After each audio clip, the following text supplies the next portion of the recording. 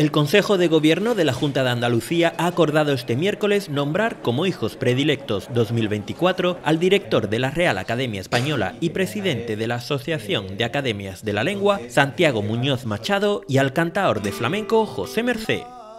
Así se ha anunciado en la rueda de prensa posterior a la reunión de consejeros andaluces, donde también se ha aprobado las distintas medallas que se otorgarán en la gala especial que acogerá el Teatro de la Maestranza de Sevilla el próximo 28 de febrero.